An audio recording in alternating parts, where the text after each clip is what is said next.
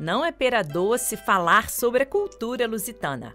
Celebrar o Dia de Portugal, de Camões e das comunidades portuguesas é ver um país tão pequeno, mas de imensa variedade de paisagens e tradições.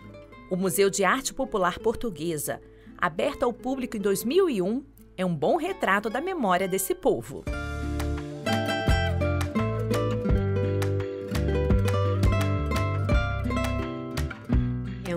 Museu de cariz geográfico que eu acho que representa o melhor da arte do saber fazer nacional. Uh, estão representados aqui uh, diversos centros produtores de norte a sul do país, incluindo as Ilhas da Madeira e dos Açores, e os mais conceituados artesãos.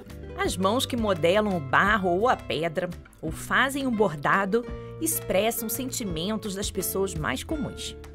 O espólio do museu conta com mais de 3 mil obras de artesãos do Minho ao Algarve e teve início com as doações do colecionador Nelson Lobo da Rocha.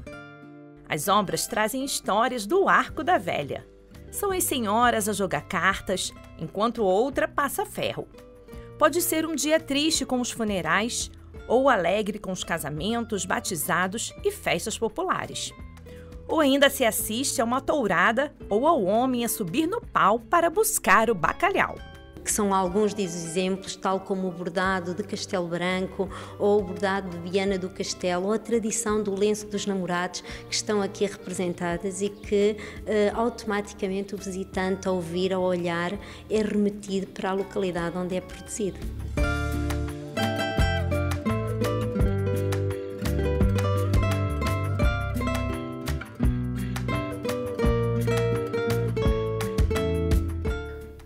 Arte popular da era medieval e produzida até os dias de hoje é a arte em bracejo, típica da localidade, da ilha, da região aqui de Pombal.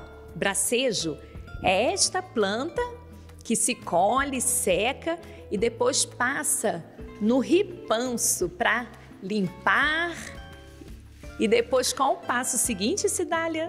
Depois de estar devidamente ripado e limpo, as artesãs executam com o bracejo tranças, que podem ser finas ou grossas, em função do objeto que querem executar, e depois de terem a trança, executam também, a partir de uma outra planta que é junça, um baraço, semelhante, uh, igual a este que eu tenho aqui, e com, este, com a trança e com este baraço, usando uma agulha grande uh, como esta, que muitas vezes é feita a partir do reaproveitamento dos dentes dos ancinhos, as artesãs cosem a peça, dando a configuração que pretendem ao objeto e, neste caso, uma base como esta que tenho, uh, que tenho na minha mão pode servir para uh, criar uma alcofa de duas asas semelhante a este objeto.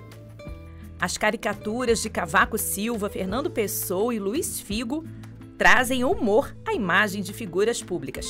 Já quem vai às festas do Bo da Pombal honra Nossa Senhora do Cardal e também não se esquece de São Martinho, padroeiro de Pombal. Cenas bíblicas, como a última ceia e presépios, são representadas em pormenores que merecem todo elogio. A grande e a francesa são coloridos tons vivos do figurado de Barcelos para dizer da alegria dos festejos do Minho. E se fores ao Alentejo, não te esqueças das procissões em tonalidades mais sóbrias e calmas. Eu vejo a arte popular como uma arte com alma, uma arte com amor, uma arte que é feita com o coração. E, e acho que é, é, impossível ficar indiferente às manifestações de arte popular porque elas remetem-nos, elas contam-nos histórias, elas contam-nos a história do local onde são produzidos, elas contam-nos a história de quem produziu a peça, que uh, muitas vezes acaba por estar, muitas vezes não, está sempre ali representada. A, a própria pessoa, o próprio sempre produtor está ali representado. Acho que é das artes que melhor testemunham aquilo que, que, que temos e aquilo que é feito no nosso país.